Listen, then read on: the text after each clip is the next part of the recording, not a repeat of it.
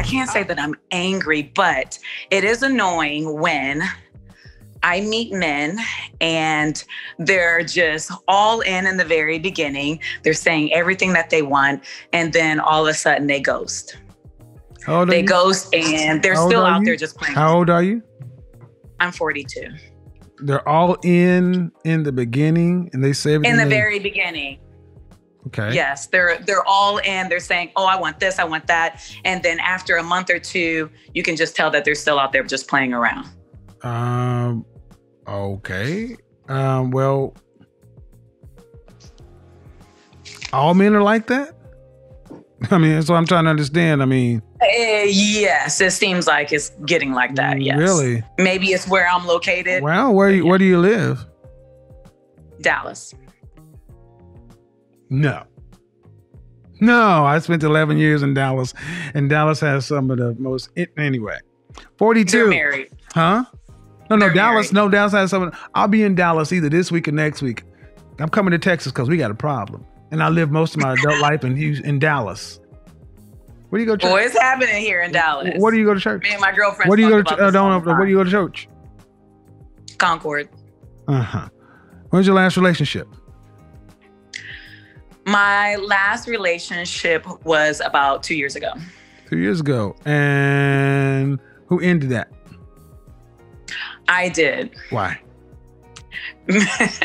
because he ended up being married. What do you mean he ended up being married? He was married when you met him. He was married when I met him, and alright. I had no idea that he So was how old are you? married. You're 42. 42. You Mhm. can't run a background check on the dude. well, that's that's how I ended up. Uh, no, I usually don't do stuff like that, but that's how I ended up knowing that he was married. So basically, what you're trying to get me to accept is all the men in Dallas are fuckboys and losers, and you and you, and I'm just gonna say no man relationships are reflective because I know plenty of men in Dallas that don't fall into that category. Um, oh well, I haven't met them. well, um, well, let's let's dig into that a little bit deeper. Do you want to be married? I do. You have I any do. children? I don't. You want children? I do. I go back and forth. The older I get, I At have to say 42? that. I'm sorry. At 42? At 42, do I want children? Yeah, I mean biological children at 42. Yes. Mhm. How's that gonna happen? well, Have you talked to your I'll have- OBGYN? well, I have a, a situation. I would actually have to have a surrogate. Okay. Mhm. Um. I, I froze my egg, so okay. I'm a, a cancer survivor. so am I. Right on. So it, it the problem is men, not not the women, not you. What are you looking for in a man? What are you look, What are you looking What are you looking for in a man? Honesty. Um, I mean, we're aren't we all, looking for the same thing? All women. Nope. I want someone who's in the church. You know, I want someone Really? who has a great job. Why do I you want want them to be in someone the who's church? easy on the Why do you want them to be in the church? Uh, I mean, they don't have to be necessarily like active in the church, and but I would like for them to be a Christian. I should say. Why? I would like for them to have the same faith that that I do. I think. it- Okay, so it- how's the uh, so you go to Concord? Is the pastor helping you find the man? He's not, and I actually know my pastor really well. I've never talked to my pastor about this. Really? How long you been in Concord? I, I, I mentor his daughter. But I, I know. I asked you how long you been in Concord. I've been at Concord for ten years now, Right. And eleven years. Right, Concord, Concord, in Dallas, and you're not working with the pastor to help you find a husband. I am not. Hmm. Does that make sense? Why?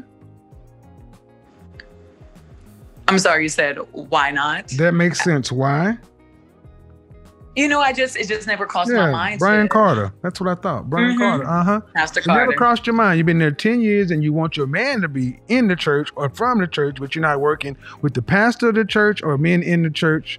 Are you in the singles ministry? You know, I was a Are part of the sing- are you singles the- okay, are you?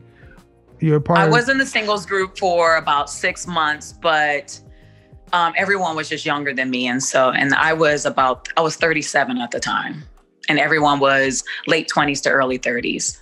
Do you go to college? Yes, I did. Uh, what's the highest level of achievement? What's the highest degree level? I have a BFA. Okay, so um, all seriousness, all, all joking aside, you want a man who's in church, but you're not working with the church to help you find a man. Mm-hmm. Yeah. Um, is it that you want a man in church, or you just want somebody to Who live a your life with Christian? Yep.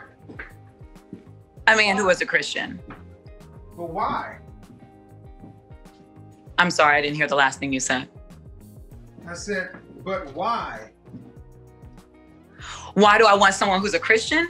Yes. Why do you? Because I want someone who has the same faith as me, who has the same beliefs as I do. I don't. But I don't buy that, man. Because if you did, you'd be working with the church to help you find a man, and that's the first thing you'd be looking for is a Christian man. Because uh, was your last boyfriend a Christian? He was. hmm Mm, but he was married. hmm Ah. so you were committed. So what were you doing in that situation with that married man, Christian woman? I did. Actually, I with him Oh, I'm I sorry. Did out that did that cut a little too deep? No, no, it didn't cut deep, deep I mean, at all. because seriously, he was man, just I mean, extremely deceptive. he was really Christianity, it. Christianity becomes a lot with modern Christian feminist women. Just becomes a way for you to disqualify men. It's not the way that you really qualify men, as I've shown Mm-hmm. by your own life. It's a way you disqualify men, but it's damn sure not a qualification. Right. Yes. So you're with a man for a year and a half. No, it's been a year and a So half. you were with, you were, how long how long were you guys together? It was um, about seven months. Seven months. Seven months. Mhm. How, how many times did you take him? I had church? known him for a while, though. I had known him. Oh, apparently not Four. well enough. How many times did you take him to church? I'm sorry, How many times did you take him to church? I didn't. Huh?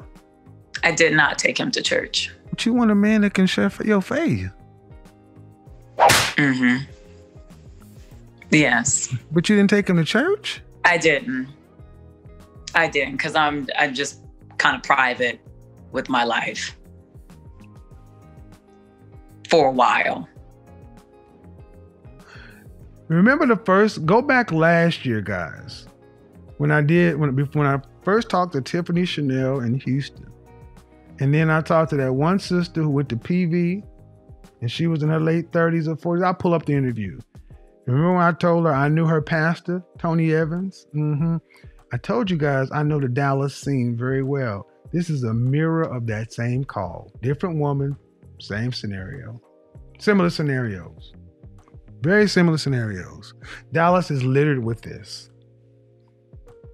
Ma'am, if you want a man who's really a Christian, why aren't you going to church with that man? Why isn't that man going to church with you? Why isn't your pastor helping you find? Why aren't you in a church that facilitates Christian relationships? You know, I I just never thought about reaching out to my pastor about finding somebody. You know, I was a part of the small groups, and that was about it. And you know, they were everyone was younger than me, and so I don't know. I just kind of like left it at that. Uh-huh. I've never really met anyone at the church outside of the the small groups that I was a part of. And I've just never I mean, I talk to my pastor all the time. That's not usually I'm just never talking to him about relationships. So I submit that you're really not trying to find a Christian man. No, I am. It's just that no, you're re- no, you're not. No, you're not. Absolutely, you are not. I've just, I've just laid it out. You didn't even go to church with the man you went to see the, la- the last time. Mm-hmm. So how can you care about? So where did Christianity come up in that? Well, we just I mean, we prayed together. We just didn't go to church. Right. You also had sex together too. Premarital sex, fornication. I won't deny that, but Well, exactly. With a married man, ma'am. I'm saying I had no idea. I'm saying, uh, Like, you I- said, you knew him before. Okay, you said you knew. I him did before. know. See what would have happened? Let- hold on, let me hold on, hold on, hold on. See what would have happened if you'd have actually picked the man from the church. You would have known one thing: he wasn't married. He actually went to Tony Evans's church. He's a I member said, of that if church. if you'd have, if you'd have picked a man from your church, you'd have known he wasn't married. I hear what you're saying. Mm-hmm. Mm-hmm. And if you took him to Concord, even though he went to uh, Tony Evans Church, just slipped. Oh, damn it! Oh, faith. Um. Oh, Uh. World. Not World Harvest. I'm going to another. I can't think of the name of it, but yeah, Tony Evans's church. shout out to Pastor Haynes. Appreciate Wes. Um, That's uh, Freddie Haynes. Freddie Haynes. Mhm. Mhm. TD Jakes and over at the Potter's house. Uh, but the bottom, if you'd took him to your church, Concord You're is such a right. lot. If you'd took him to your church, somebody would been like, uh, that man married. You're right. I know. See, Christianity is supposed to shield you from all this, not open you up to all this madness. For you to come and tell me that the problem is the men in Dallas, I will not let you visit that bullshit on them. When it shows in your life that the men that you picked aren't even lining up with what you say is important. And in practice, you're not doing these things. So Christianity cannot save you. You're just using it to filter out men that you don't find desirable. And this mm-hmm. happens too often down there. We get no, I'm gonna move you to the side because I don't know you enough to say this about you. So I'm gonna move you to the side. There's so many women down in Dallas who are pseudo Christians, Christian feminists. It is just rampant with them. Dallas stinks with these women. They come in with their Bibles talking good, that good, good, good, and they running through the Dallas like Jezebels. And then wanting men to be saved. All right, back over to you. At 42 years old, ma'am, if you want a man who's a Christian, uh, and it's an important part, uh, yeah, you need to really start working with your pastor or somebody in a church that has a thriving singles ministry where you may have a better selection of men. May even have to switch church homes. If that's really if that's really a, a determination, but at 42 years old, wanting children and all that other kind of stuff, man, it- it's going. To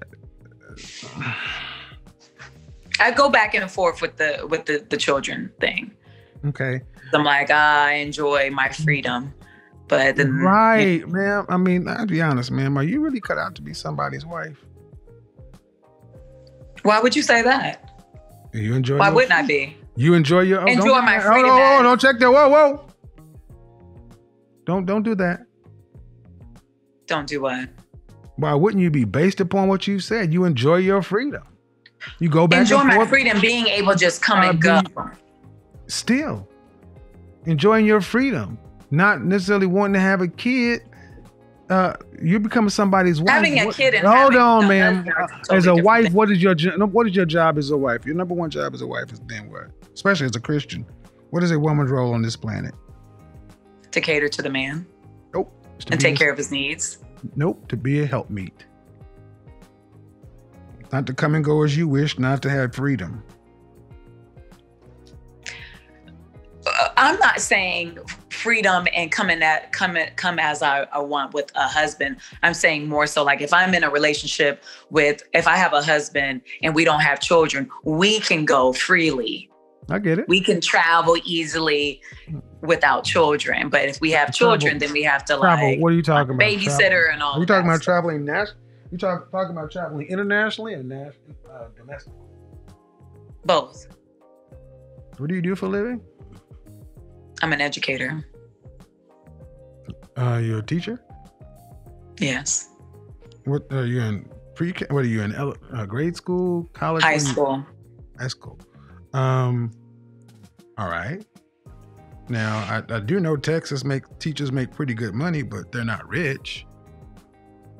I do a lot of things on the side. I do private lessons and Mhm. I teach group fitness. I have my So own I asked you the ultimate question, ma'am, and it wasn't to insult you, but are you really cut out to be a uh, would you um in your marriage vow would you say love honor and obey? Absolutely. uh would you be submissive to your husband? Absolutely. okay. So at 42 there are all kind of situations you can work out but the thing is ma'am it comes out ultimately down to the same thing with every relationship what kind of man do you want? What kind of uh what kind of man do you want?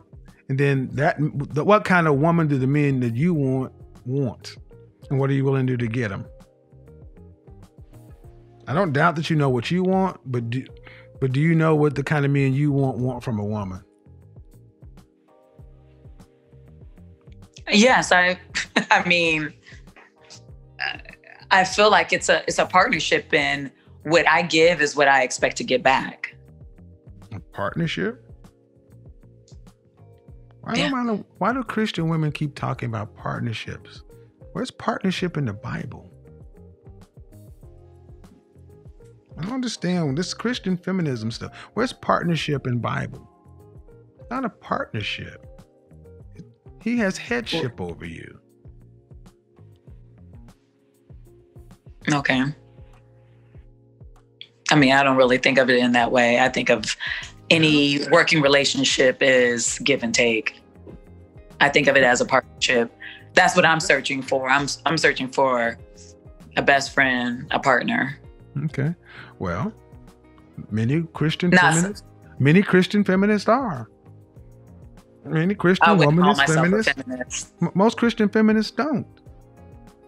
They believe in they believe in equality and partnership, and they talk and move in lots of similar ways. And in my in my channel, if you've been around, how long you watch my content? Actually, this is my first time. Well, ma'am, I have talked to different varying versions of Christian feminists, like at least once every couple of weeks. So anybody who's watched my channel, they're probably having a good old time in the comment section, like, yep, we know what this is because this is rampant in the black community. Black women want Christian men, but you don't want to live like in the order, the divinity in which God aligned us. You want partnerships. You want this different arrangement. Doesn't really work. This is why men in general, this is why many, most men have left, many black men have left the church. Mm-hmm, mm-hmm. So, all right, but I'm, uh, I got to get on to the next person. All right. Well, thank you so much. All right, have a good day though. You too.